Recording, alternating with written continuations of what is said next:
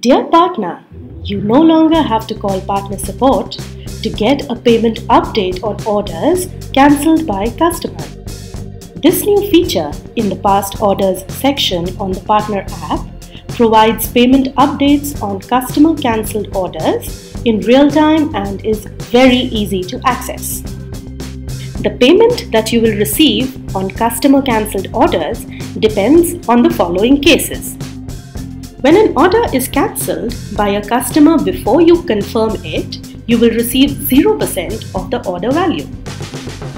When an order is cancelled by a customer before the food is picked up, you will receive 40% of the order value. When an order is cancelled by a customer after the food is picked up, you will receive 100% of the order value.